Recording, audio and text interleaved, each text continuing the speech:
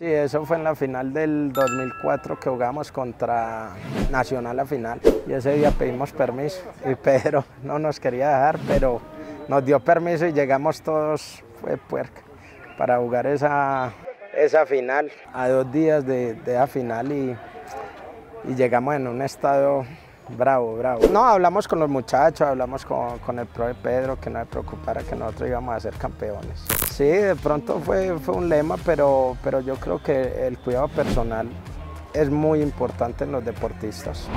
Como persona nunca hay de qué hablar, fui un profesional a carta cabal y, y bueno, esto sirve mucho también para uno aconsejar a los muchachos.